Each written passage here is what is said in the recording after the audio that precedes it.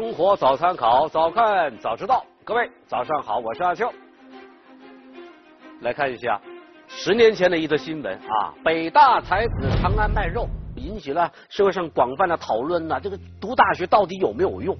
嘿嘿，无独有偶啊，几年之后，同样是一位来自北大的高材生啊，呃，居然通过卖猪肉卖成了这个千万富翁。嘿，更让人想不到的是啊，二零零九年，这两位屠夫一拍即合的办起了一所啊屠夫学校。哎呀，你看。屠夫学校有百分之六七十的学员是大学生，其中呢还不乏英美留学回来的海归。呀，这就让人想不通了。你说是这个屠夫学校到底有什么样的魅力，什么样的吸引力，让如此众多的大学生自降身价、吃苦受累的去学习杀猪卖肉？这里是生活早餐考，让我们一起走进屠夫学校，去探寻其中的奥妙。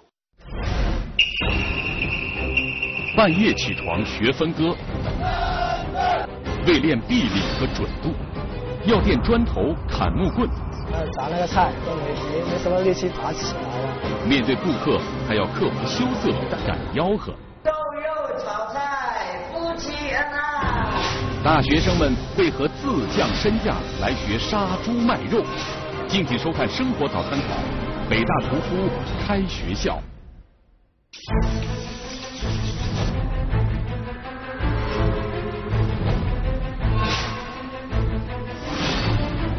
手起刀落，干脆利落的身手。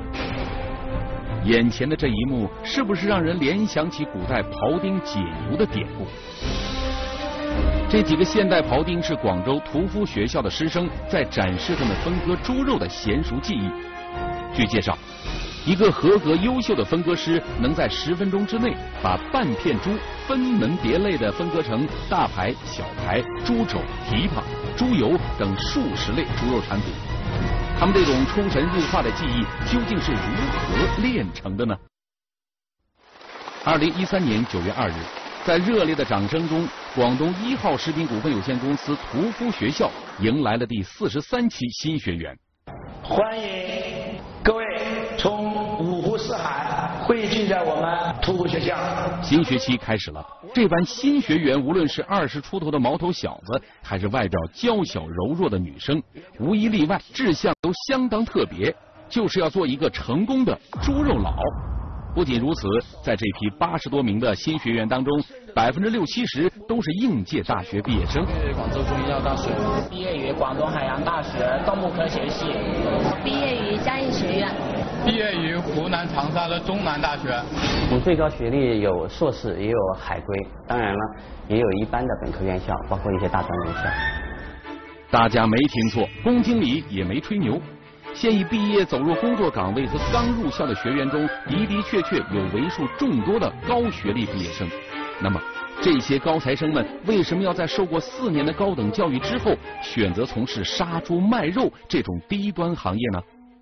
其实，早在十年前，一则北大才子陆步轩揭示卖猪肉的新闻，就曾引发社会各界对于读完大学是否应当杀猪卖肉的大讨论。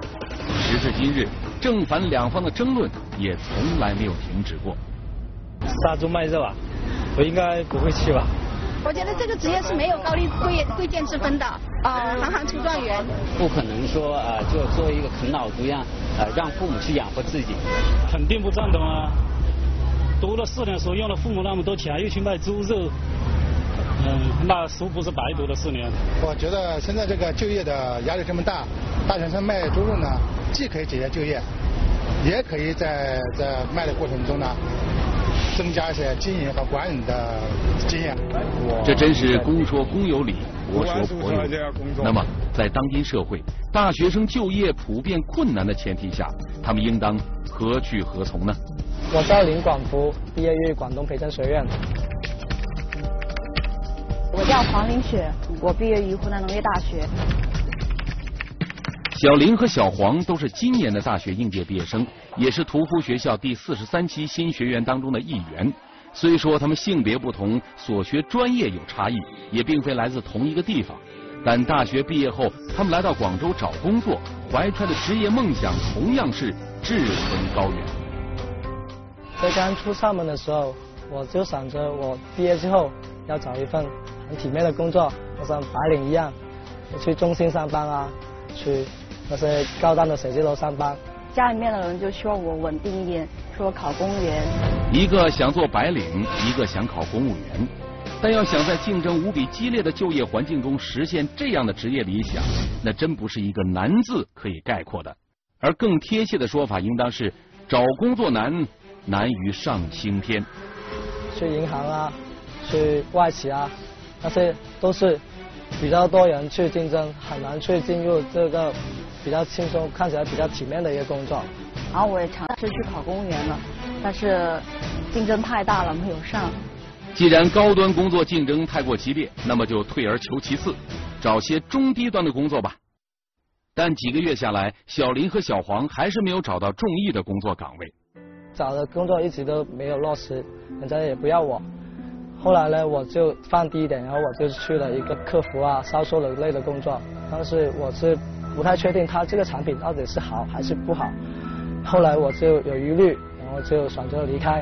之后呢，就是有找过两份工作，一份就是在实验室做那个食品检测，嗯，另外一个就是做那个食品研发。然后我个人不太喜欢那样的工作。在经历了找工作当中的挫折与失败、内心的痛苦和挣扎之后，小林和小黄静下心来，重新拟定了自己的就业方向。通过不同渠道，他们不约而同的把目光聚集在了广东一号食品有限公司的一则招聘信息上。后来我在人才市场上面看到了一号食品公司正在招储备干部，在智联招聘网上就看到我们一号食品股份有限公司招那个营销储备干部，所以我投了简历。虽说小林和小黄是冲着招聘信息当中储备干部这一职位过五关斩六将，通过各种考核面试进入到公司。但令他们颇感意外的是，一开始并不是让他们坐办公室去写字楼上班，而是硬性的要求他们上屠夫学校和市场中进行为期四到五个月的岗前培训。就算你有多么高的学位，来了第一件事情学会杀猪卖肉，但是呢，你在这里杀猪卖肉不是一辈子杀猪卖肉，而是你要。通过在基层的锻炼，去了解基层的一些工作，逐步来掌握一些管理的思维，让我走向我们的管理岗位。广东一号食品股份有限公司到底打的是什么产品？为什么要创办屠夫学校教人杀猪卖肉呢？要想知道这其中的缘由，还得从一号土猪品牌的创始人、屠夫学校的创办者之一陈生说起。我老家是广东湛江的一个小山村里面的农民。所以我做养猪卖肉呢，应该是是有非常好的家庭背景的。一九八四年就读于北大经济学专业的陈生，毕业后分配到了广州市委办公厅。这样的一份工作，无论在当初还是现在来说，都是一份面上有光、令人羡慕的职业。但是我在市委一段时间之后呢，我就发现自己可能不太适合。所以没多久，大概几年时间，我就下海了。下海后的陈生摆过地摊，做过房地产，卖过白酒。凭借骨子里对市场的敏锐度，加上高学历武装的头脑，陈生在商海里如鱼得水，在短短几年时间里，便完成了最初的原始积累。二零零三年，当同为北大毕业的陆步轩被记者发现，在小县城的街头卖猪肉，引发社会舆论一片哗然的时候。陈生正在经营他的新事业——养鸡卖鸡。在电视上，陈生无意间看到了陆步轩街头杀猪卖肉的新闻。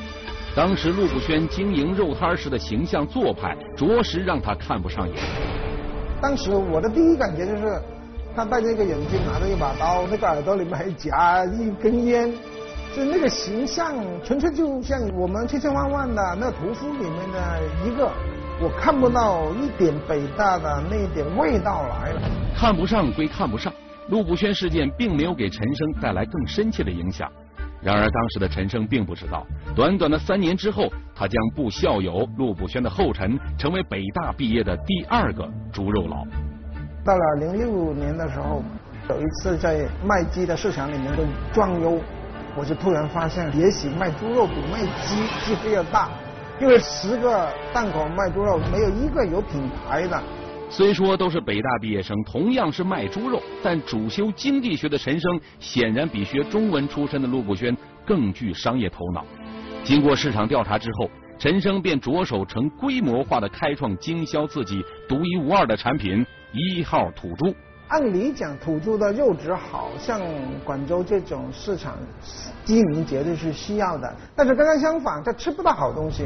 反过来，我发现有机会了，我就记起来陆步仙这件事儿。我说陆步仙他能卖猪肉，我说我卖也无所谓。但是我一做就把它当做一个事业，当做一个企业来经营。就是一开始的时候，我就第一波开店，我就开了六家店。啊，逐渐逐渐，一年以后就差不多达到一百家连锁店。由于市场定位准确、肉质鲜美、口感独特的一号土猪产品一经推出，便迅速占领了广州市场和大众的菜篮子。陈生也趁势朝着土猪规模养殖、品牌连锁扩张的道路高歌猛进。然而，在一段时间之后，陈生明显感觉到企业发展有些后劲儿不足。因为经营猪肉的档口急缺刀手、推销员和管理者，确实是人才已经变成我们的瓶颈了。干脆办个屠夫学校，既可以为自己培养人才，也可以为社会培养人才。想要开办培养人才的屠夫学校，谈何容易？校舍和资金倒是好解决，但负责教学的人才和教材又在哪里呢？这个时候，一个叼着烟卷、穿着拖鞋。杀猪卖肉的形象瞬间无比清晰的呈现在陈生的眼前。我说陆步先是目前我见到的中国最好的屠夫，呃，为什么呢？因为他在他的一个档口里面一天能卖十二头猪。我们中国的平均的卖肉师傅。一天只能卖一头猪，他的卖肉水平绝对是到了一种神话的一种水平了。第二个呢，就是他毕竟是北大中文系毕业的，他能把在档口里面卖肉的一些经验的东西，上升为一种啊理论，或者是上升成为一种文字。假如让他来主持我的这个屠夫学校里面的一些教学啊啊教材的编写啊，应该算是最好的。二零零八年八月。陈生邀请陆步轩来到广州，提出共办屠夫学校的建议。两个北大屠夫一拍即合，由陈生出资办学，陆步轩专门为学校编写二十万字的教材。他们的目标是培养文武双全、通晓整个行业流程的高素质屠夫。二零零九年，一所专门教人杀猪卖肉的屠夫学校在广州诞生了。看见了吧？两位北大的猪肉佬一拍即合，居然在广州办起了屠夫学校。今天呢，我们有幸请到了被称为北大屠夫，也是这个屠夫学校的创办人之一的陆步轩陆先生。老陆，你好。你好，你好。我该怎么称呼您呢？陆校长，还是陆屠夫，还是按照广州话说是猪肉佬、杀猪佬，或者是其他的？叫我老陆挺好，叫老陆挺好。哎，对对。啊，这一晃，您当年从北大毕业出去，一决定卖猪肉，那是几年前发生的事了，还记得吗？我应该卖猪肉，我是一九九九年开始的，十几年了。啊，对。大家都很关心，您现在还在卖肉吗？我是两年前就不干了。我开始卖肉的时候是为生活所迫啊，没办法了，生活没没办法过下去了。嗯啊，这个就是卖猪肉这个行业啊，门槛特别低，不需要什么本钱，所以就不自觉的参与到这行业。您当年出名那会儿，我们看到很多报道，其实有报道说，其实说陆步轩还是非常的理直气壮的，昂起头，抬起胸，觉得不丢脸啊，觉得我我做这个没怎么的。我开始是做的时候也觉得非常丢脸的。您当年。一个北大毕业生，沦是吧？沦落到去卖猪肉，您自己怎么调整心态的？对这样，现在目前我们这大学生就业，他们这样一种心态，你有什么样的建议？嗯，我先从我自己说起啊。我这个人是只能做小事，不能做大事的人啊。就是人自身有性格上有些局限啊。我就觉得付出一天的劳动，赚上一百块钱、两百块钱，装进自己腰包了，很实在。作为大学生来说，不要自视太高。嗯，一些事情要从头做起，只有从头做起，这些东西才是扎扎实实的啊。就从最基础的做起。你不要说我是大学生，我是我怎么样，我比人高一头啊，大一榜啊，我就是一个普通的劳动者啊，先从这方面啊锻炼自己，哎，打好那个基础的东西，基础扎实，然后有机会再把握这种这种机会，求得人生的一个费用。好，谢谢谢谢陆步轩。据我所知啊，全世界范围内这个屠夫学校仅此一家。那么这所学校的老师都教些什么呢？学生们又能学到一些什么呢？咱们呢，接着往下看。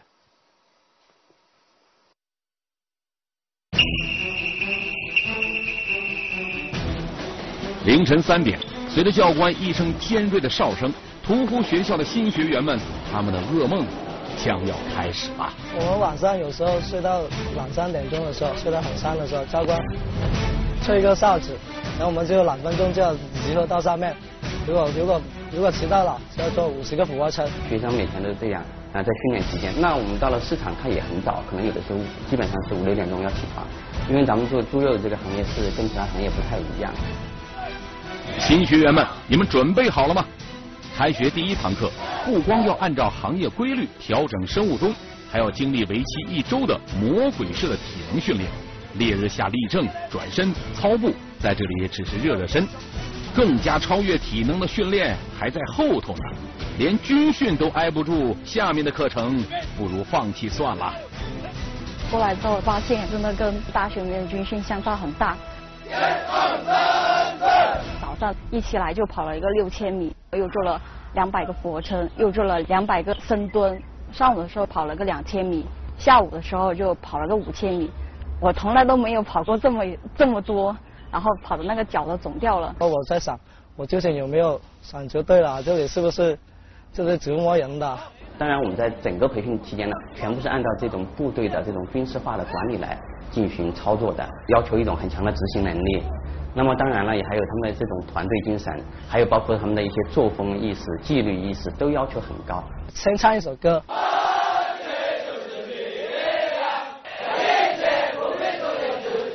还还要指好队，不然的话就很晚才有的饭吃。全部做好了，教官满意，你才可以有下一步，有饭吃。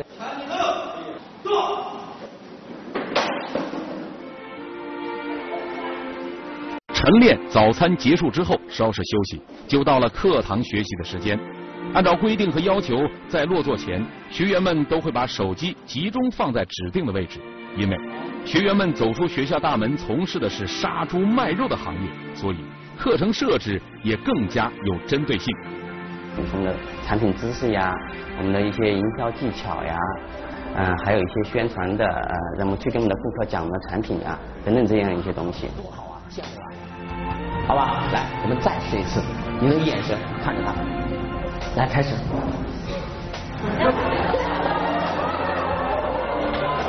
怎样让课堂气氛更加活跃？怎样让学员们抛开羞怯心理，熟练运用销售技巧？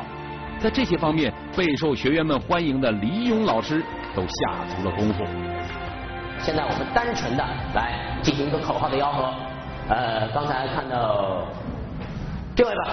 呃，一号土猪骨头硬，然后钝刀亮。哎呀，你看你这，你这样喊的话，鬼才来。对吧？肯定不行的。这样吧，我看您放不开，你站凳子上，给我站起来，结芝麻开花节节高，站得越高看得越远，喊得越亮，对吧？我们手上有磨刀或磨杠这个动作，是吧？瘦肉炒菜夫妻恩爱。好，有感觉了，看来真不一样，一上一个台阶，这个感觉就来了。来，站桌子上，站桌子上啊！看你这个台阶，对。好，声音洪亮，哎，表情要出来，微笑表情要出来，来，再来一次。瘦肉炒菜，夫妻恩爱。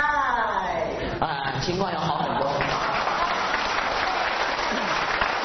情况好很多啊。好。同学问你一下，你觉得这个老师讲课有意思吗？哎，我觉得他就是特别的幽默风趣。因为我自己是经历过市场这个环节的，有很多案例，加上我可能讲课也好比较生动啊、幽默呀，这些人他就更愿意去接受了，因为我觉得课堂嘛，他不需要那么严肃，活泼一点。理论要联系实际，再往后更加高强度的训练开始了。要拿杀猪刀，可不像提笔写字那么轻松愉快。杀猪刀那么重，日后要天天拿来开工，没有一点臂力是会手软的。所以要加强针对性训练，方法就是抓住两块砖头，随着口号上下抛，务求练出两只强壮有力的臂膀。如果说你的手没有臂力，砍这个猪骨你是砍不断的。所以垫砖头呢，就是为了呢，让你的增强你的这种体能。真正的实操是从手握大号杀猪刀砍木棍开始，练习力度和精准度。因为砍木棍就像砍猪骨一样，下刀要干脆利落，兼刀口整齐，才算漂亮，才算合格。然后砍木棍呢，就是要实现你在砍这个猪肉的猪骨啊，切猪肉，实现一种快、准、狠啊。在我们的市场卖猪肉，它讲究卖相，你要是分割切的不好，消费者是不。不买你的。老师毕竟是老师，手起刀落，一点都不含糊。再看看这班新学员，以前到底是舞文弄墨的秀才呀，看样子是剁肉馅多过砍猪骨，今后要勤加练习才行啊。据了解，在校期间，学员们每天要交替练习编砖头和砍木棍两到三个小时，这样高的训练强度，还真不是一般人能承受的。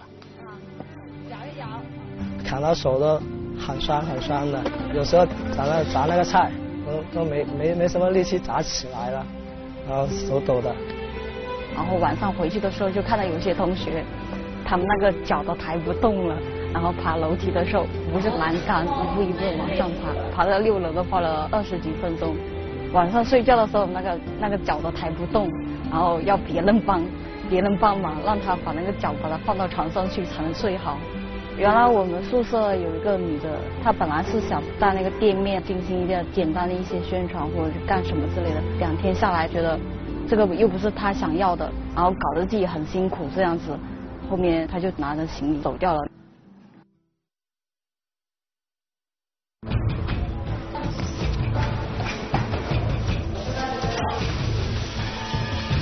又是一个凌晨三点。新学员们被带到了一个事先精心布置好的现场，眼前的情景让他们觉得既新鲜又好奇。请问王老师，这是要玩什么新花样呢？今天这场面是我们在市场里面请一批老员工回来，这个示范给我们新员工看，啊，怎么样去分割，什么样的方法，让他们回来带一下新的员工。对，你好，你的这个感觉适应吗？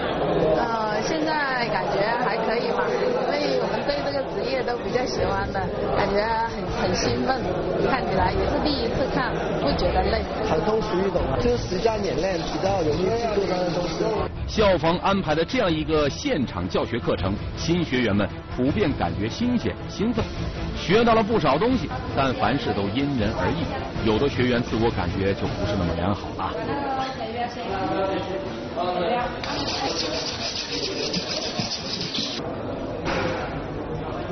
谢谢啊，好点了吧？好点了，好多了。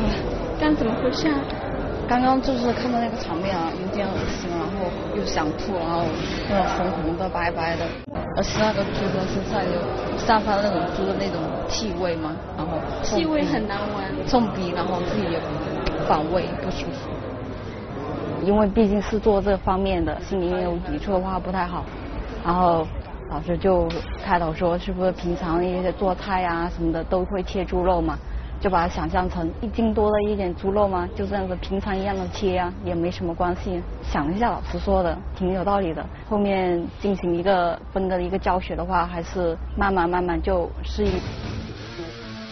日复一日，循环往复，在屠夫学校，每一批学员都需要经过军训、产品知识、礼仪、营销、体能训练、分割猪肉、档口管理等一系列为期四十多天的培训。